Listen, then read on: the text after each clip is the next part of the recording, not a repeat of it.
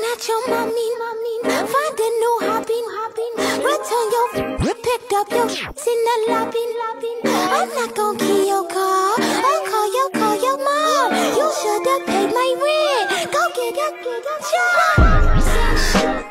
Come up in your crib, all up in your fridge. Can't pay bills. Look at what you did. Listen to your friends when they say say shit.